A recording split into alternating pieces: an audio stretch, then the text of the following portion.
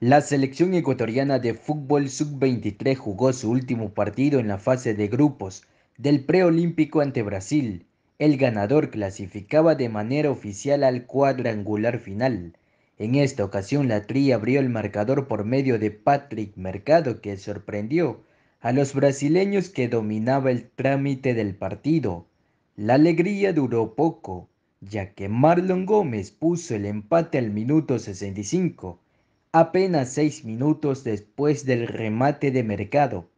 Es así que la canariña mantuvo la superioridad y presionó para buscar el 2 a 1, que lo encontró por medio de Gabriel Pirani, quien remató en dos ocasiones dentro del área hasta poder llevarse los tres puntos. De esta manera Ecuador deberá esperar a la última fecha, cuando Venezuela y Brasil choquen, y esperar que tampoco puedan ganar para así confirmar el pase ecuatoriano. Informó para Radio La Original Jaime Franco.